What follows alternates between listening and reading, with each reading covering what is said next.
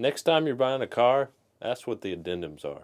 The price you see online may not be the price, the actual price of the car. Addendums are dealer added options that can't take off the car. You'll normally see them on the side of the window sticker. Tommie Vaughn Ford, we don't have addendums. No surprises. We're not going to waste your time. We don't have addendums. There's no bullshit.